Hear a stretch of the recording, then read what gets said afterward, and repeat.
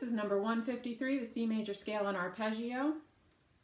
This um, scale, we step up our notes on the C string and the G string and back down. And our arpeggio at the end means skipping notes. So we will be skipping from 0 to 3 and then 0 to 4 on the G string. Um, also, this song starts with a half note, so make sure you count to two at the beginning.